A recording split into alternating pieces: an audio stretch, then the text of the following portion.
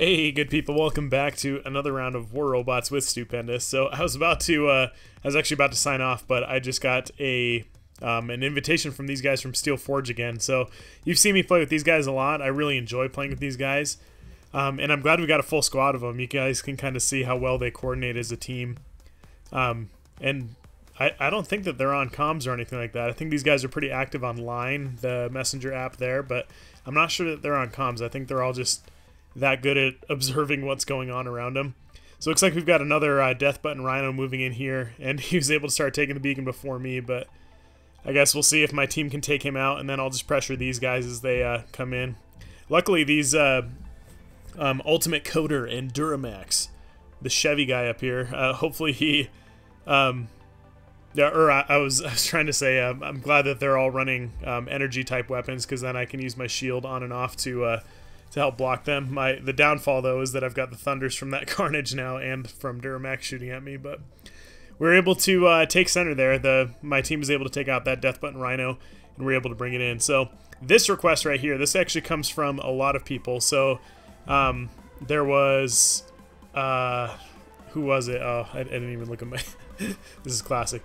Ahmed. Uh, uh, Ahmed something. Sorry, I, I, can't remember your last name. And then there was another guy who had a bunch of random characters in his name. And then uh, Jeff Kratochaville um, were uh, were people who requested specifically the Fury Tempest. And then um, there was a lot of people after my last video running the Butch Tempest who requested various Tempest setups. So I think I'm going to cycle through a bunch of setups over the next couple of videos and and we'll just make it happen that way. And I apologize for the spotty uploads uh, the last few days. Um, for any of you who've been around for a while, you know, uh, you know why. So anyway, uh, we'll we'll see if we can get some good Tempest footage off of this, um, and then I actually have to leave for work, so. Um, we'll play uh, one round with these guys. Hopefully, I can pick up with them again later. Um, that'll be fun.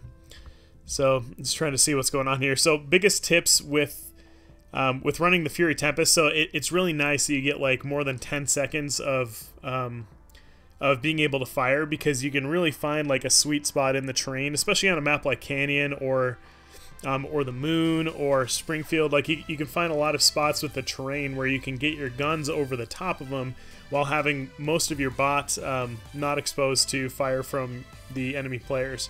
So right now I'm going to back off over here and I might drop down this cliff to my left so that just my guns are poking up over top of it to uh, um, attack this guy from Illuminati. It looks like we should be able to take him out though with uh, the heat that he just took from my teammates. Um, yeah, we are able to take him down pretty quickly. So, and then uh, target cycling. So as you're firing at another target, I would just make sure to um, it, it's really easy to get focused just on one target. So I guess another tip for this is to find your next target while you're firing on one already. So right now I'm going to attack this Carnage, for example, and then I'll probably start going for that Griffin on the right. Um, yeah, I guess it just depends on where my clip is at and everything like that. But um, And then I guess that brings me to another good point with the Tempest, is that with your clip, make sure you're paying attention to it, and make sure you always have somewhere to retreat to uh, it can be advantageous. Like for most long range setups, you don't want to move in close, but it actually can be really advantageous for the Tempest to move in close because they can output so much damage. Um, it's they, it's able to deal so much damage so fast. It's sometimes like if it's like a Griffin or something like that, it might be worth moving into that like 400 meter range a lot more frequently than otherwise because you can drain them like um, in like five seconds. It can it, it does that well. That guy was like, nope, not sticking around. I can't blame him. These uh, Steel Forge guys are no joke. They're they're doing a really good job pressuring um pressuring every beacon and I mean look at the way that they're moving. So um so like we've got uh, Colgrim over here on the right and he's pressuring them from that way. He's pulling all of their attention to that side of the map.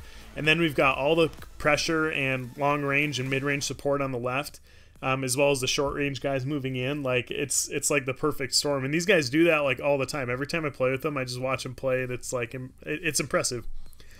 So uh, looks like this guy's gonna get taken out before I'm able to to do anything to him, but it looks like that's probably game. But anyway, yeah. So for the Fury Tempest, just make sure that you always have somewhere to ret- retreat to And with that in mind, make sure that you are watching your clip.